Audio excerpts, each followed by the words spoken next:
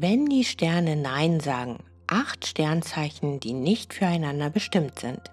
Bei diesen Paaren stehen die Liebesterne leider niemals günstig. Wer möchte es nicht, ein Match made in heaven? Teil eines himmlischen Gespanns zu sein, welches nach allen Regeln der romantischen Kunst gemeinsam in den Sonnenuntergang spaziert, ist der Traum der meisten Menschen. Das Horoskop und die Astrologie können hierbei manchmal eine Hilfe sein. Gelegentlich aber kommt es auch vor, dass sogar die Sterne in ihrer Unendlichkeit unseren Wünschen und Begehrlichkeiten Grenzen aufzeigen. Es gibt nämlich auch im weiten Land der Astrologie Zeichen, die ganz und gar nicht auf einer Wellenlänge sind. Welche der zwölf Sternzeichen einander keinesfalls guttun würden und sich daher besser aus dem Weg gehen sollten, verraten wir dir in unserem heutigen Podcast. Nummer 1. Fische und Zwillinge. Tiefgründige Gespräche oder viele, viele, viele Gespräche? Hast du jemals darüber nachgedacht, warum man manche Menschen als stumm wie einen Fisch bezeichnet? Sie reden nicht viel, gelinde gesagt, und das Sternzeichen der Fische steht in demselben Ruf.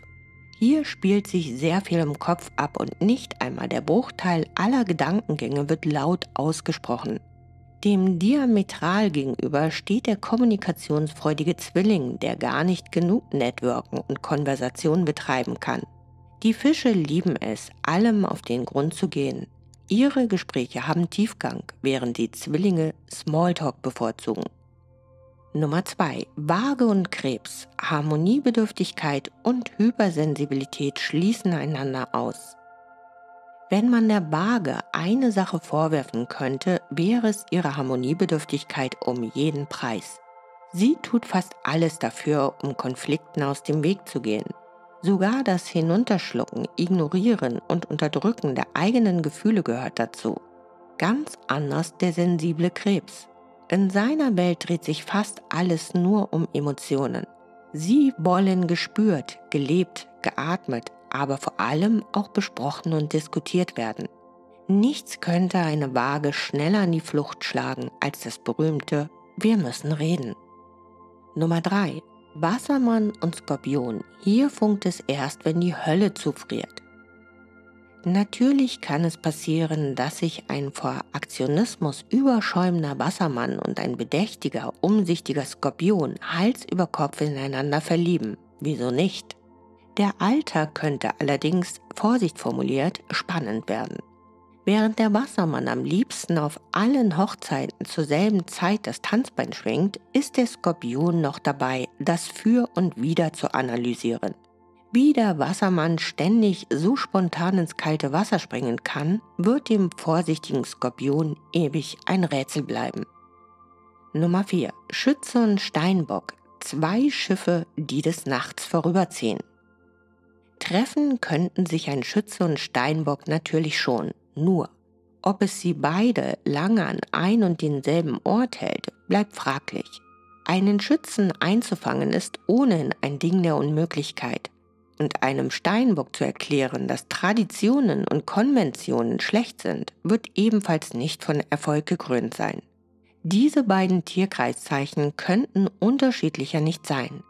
Falls Amos Pfeil sie dennoch einmal treffen sollte, werden beide Seiten unendlich viel Geduld und Kompromissbereitschaft an den Tag legen müssen.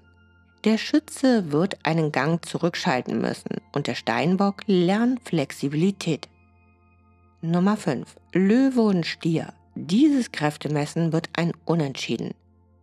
Wer in der Arena der Leidenschaften einmal so richtig die Fäuste fliegen und die Funken sprühen sehen möchte, schickt einen Löwen und einen Stier zusammen hinein. Für eine flüchtige, heißblütige Affäre könnte es zweifellos reichen. Aber im Alltag bleiben diese beiden sich garantiert nicht schuldig. Jeder will gewinnen und keiner gibt nach oder auf. Wer es gerne turbulent mag in seinen Beziehungen, wäre mit dieser Kombination bestens beraten. Am Ende wird es allerdings keinen Sieger geben, sondern eine für beide Seiten höchst unbefriedigende Pattsituation. Nummer 6. Skorpion und Widder. Feuer mit Feuer bekämpfen, keine gute Idee. Auch bei diesem Paar wäre das Ringen um die Vorherrschaft in der Beziehung vorprogrammiert. Beide Seiten sind nachtragend, können zur Eifersucht neigen und verzeihen einen Fehltritt oder Betrug nur schwer.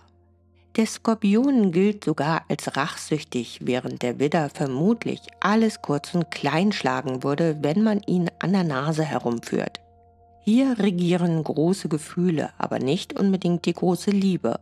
Verletzte Eitelkeit, gekränkter Stolz, falsche Beschuldigungen und der absolute Unwille, Kompromisse einzugehen oder offen über Gefühle zu sprechen, lässt diese Beziehung scheitern. Nummer 7. Zwillinge und Krebs. Kommunikationshoch sticht gefühlstief. Was den Zwillingen spielend leicht von der Hand geht, bedeutet für den Krebs jedes Mal Überwindung pur. Das Ausdrücken von Gedanken und Gefühlen wurde den Zwillingen in die Wiege gelegt. Der Krebs hingegen wird manchmal von seinen Emotionen regelrecht verschlungen, was das Zugehen auf andere Menschen erschwert. Diese beiden zusammen, das kann nicht gut gehen. Der Krebs braucht immer ewig, bis er klar kommunizieren kann, wo der Schuh drückt. Bis dahin sind die Zwillinge schon weiter zur nächsten Blume geflattert. Nummer 8. Jungfrau und Fische, Pragmatiker und Träumer. Hier prallen Welten aufeinander.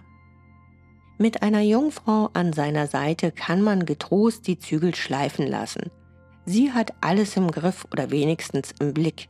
Für Trödeleien, kompliziertes Getue oder kreatives Chaos allerdings fehlt ihr der Sinn. Die Fische sind ihr daher manchmal schlichtweg zu unbeweglich. In den Augen der Jungfrau muss alles zack, zack vonstatten gehen. Und der nachdenkliche und geistvolle Fisch ist hier natürlich wie ein Klotz am Bein für sie. Unser heutiges Fazit. Ausnahmen bestätigen die himmlische Regel. Natürlich kann es vorkommen, dass eine Waage und ein Krebs sich suchen und finden. Auch ein Löwe und ein Stier können sich zusammentun und gemeinsam die Welt erobern. Die Sterne geben immer nur eine Richtung vor, folgen müssen wir ihnen dann nach eigenem Ermessen. Es wäre natürlich unklug, eine vielversprechende neue Bekanntschaft rundheraus abzulehnen, nur weil sie im falschen Monat oder am falschen Tag geboren wurde. Betrachte die Charaktereigenschaften der verschiedenen Sternzeichen lieber als Empfehlung, nicht als Handlungsimperativ. So mancher Mensch macht seinem Sternbild alle Ehre. Wieder andere sind ihrem astrologischen Zeichen alles andere als ähnlich. Die besten Beziehungen werden fraglos auch heute noch im Himmel geschlossen. Miteinander klarkommen müssen wir jedoch auf der Erde. Daher gilt Augen auf bei der Partnerwahl Himmlisches Vergnügen kann höllisch anstrengend werden, wenn wir unsere Partner durch die rosarote Brille sehen und nicht so, wie sie tatsächlich sind. Vielen Dank und bis bald.